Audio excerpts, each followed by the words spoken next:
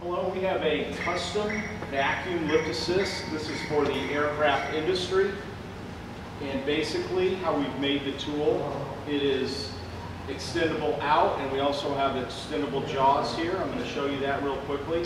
We do have a common button here, so they just can't accidentally hit these.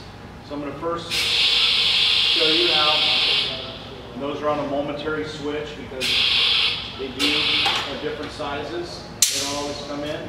And then you can also adjust these in and out. We do have pilot operated check valves on all of the cylinders in case of loss of plant air that you don't move them in midair while you've got a part. We also have check valves on the pump. I'm going to show you here real quickly. Go and pick up. Typically, this is set up, and you have a radio here. This is going on a fully powered bridge crane. We just have it in our shop using one of our, our uh, little doorbell system. So again, grip release, get the comment.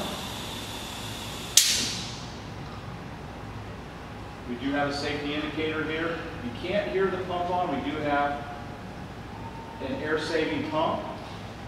And so the pump only cycles the inches of mercury gets down to around 22. This is actually pulling 27 inches of mercury. So very easy tool to use. This tool is rated for 300 pounds, and again, it's for the aircraft industry.